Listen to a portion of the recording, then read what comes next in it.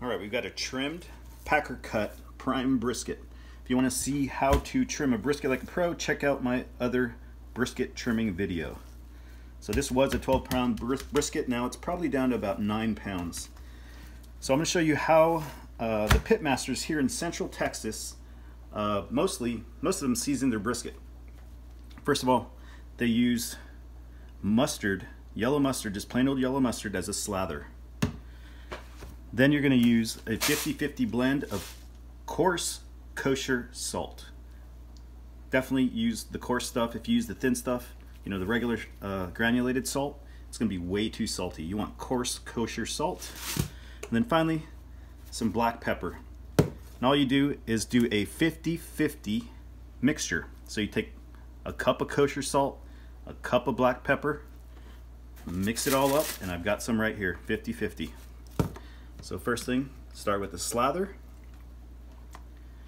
Just throw some mustard down on it. Rub it all over. Don't forget the sides. Both sides. Some more mustard.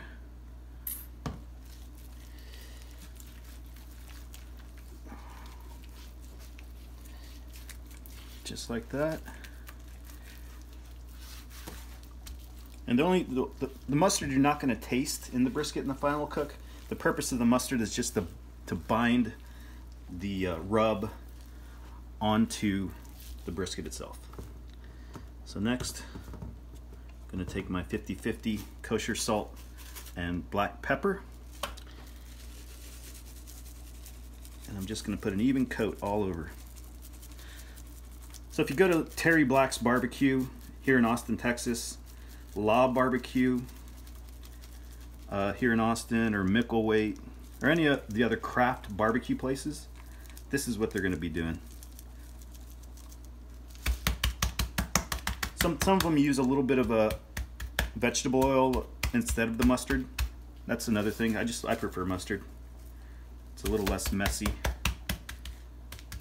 But soybean oil, vegetable oil works just fine. Olive oil if you want to get fancy. Don't forget to do the sides. Very important.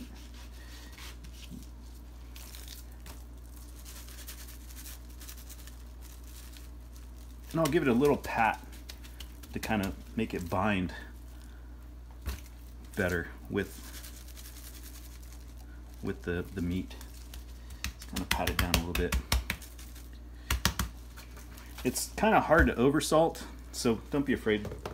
I mean, it's possible, I'm sure, but I've never really had an issue with that.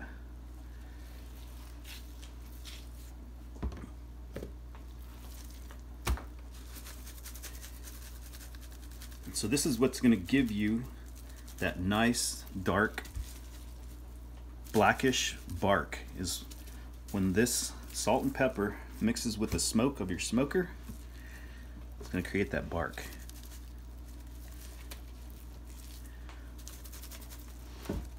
right, finally, the top of the brisket.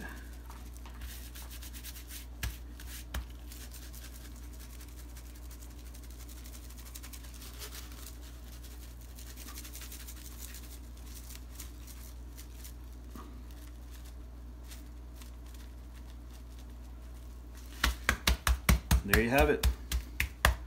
It's ready for the smoker.